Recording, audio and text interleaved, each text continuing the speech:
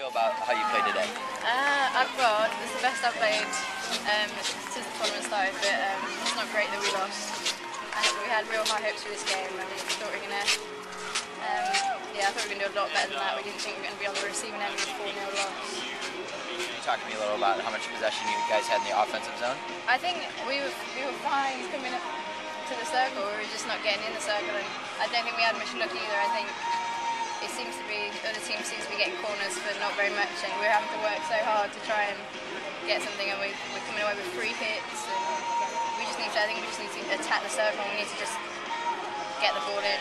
Specific things you're going to work on in order to get it in the circle? Yeah, well, no, I think we'll debrief the game today and see why, where the problem areas were, and then we'll focus straight on China and see, how we can go against their defence. For example, Australia, they're very good at trapping the ball, so hitting the ball into the circle, that was not our game plan. We should have passed it around, and that's where we were, were losing out. We needed to play around them. So China might be completely different. I haven't, we haven't really looked at them yet. So that might be the time for the crash ball in and looking for deflection. So we'll just see what the coaches come up.